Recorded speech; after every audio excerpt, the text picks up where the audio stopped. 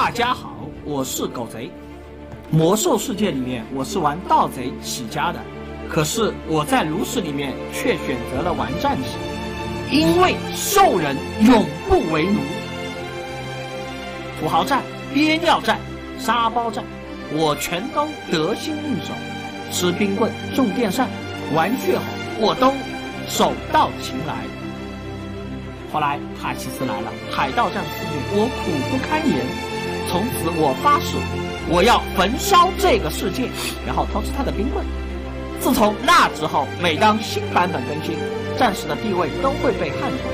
我几次一度以为我要退休去小区楼下卖鸡蛋饼了，但是我都撑了过来，靠的不是乱斗之王，也不是熟悉的麦爹，而是我从未熄灭过叠甲的意志。今天是巨龙年，奥丹姆，我遁入狂野，唯唯诺诺。巨龙年，我将重回标准，重拳出击。我是要带着战士的荣光。继续叠甲，毕竟人一定要有梦想。龙骑士并不枪法吗？